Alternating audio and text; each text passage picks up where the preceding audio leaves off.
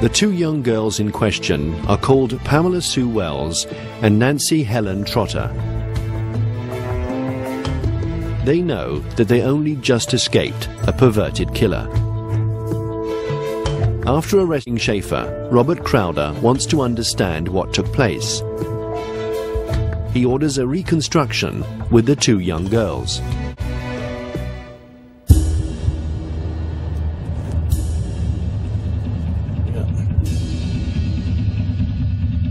What he discovers chills him to the bone.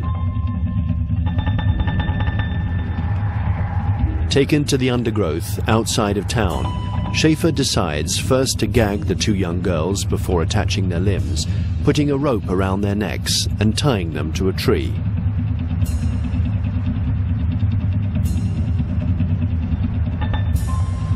And then Schaefer announces that he's leaving, that he has an errand to run, but he'll be back to finish the job.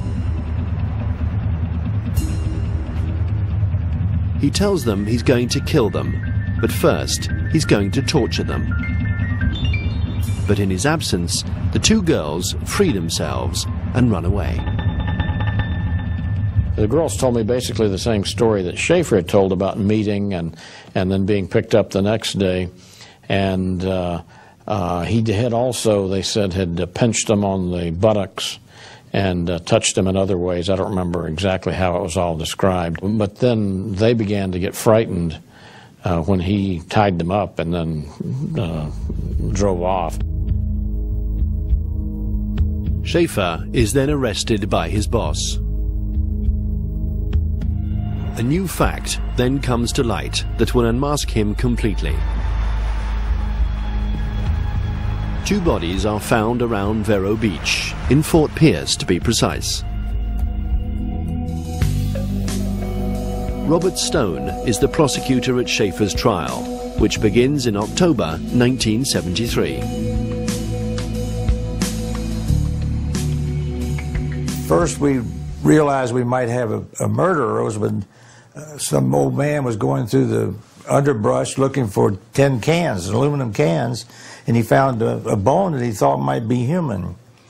So the police went there and searched the area and found the remains of two people, two humans. They found a skull and scattered teeth. And uh, almost at the exact same time, uh, a mother of one of the girls who had been missing since September of 72 was going through the county and she noticed the license plates, so she went to the uh, tax office to find out if, if, the plate number she had, if there was such a person in in that county. And in fact, it belonged to Gerard Schaefer, who was in jail.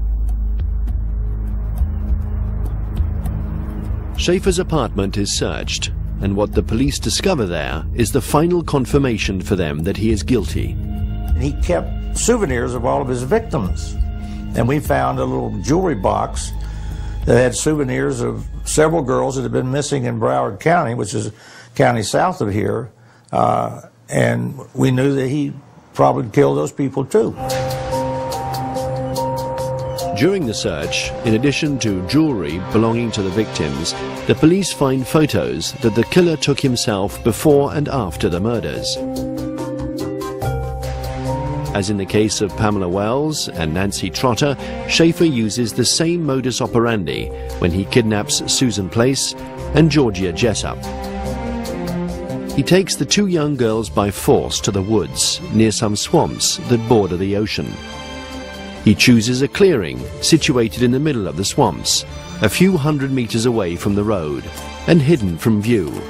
He binds them and ties them to trees.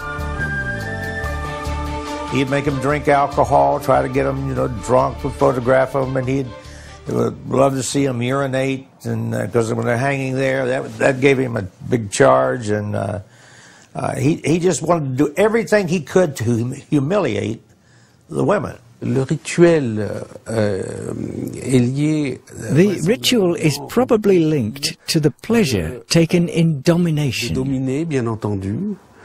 Euh, Moreover, the attack is usually done with a knife because then there's physical contact with the victims. euh, les, les victimes, soit la So either with a knife or strangulation or even suffocation. euh, les victimes. So the victims are touched. Et euh, il, il les fait souffrir. And of course, he makes them suffer slowly.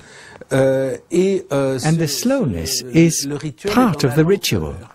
And then after he killed them, he would, uh, you know, have sex with them as long as they were able before they started decaying.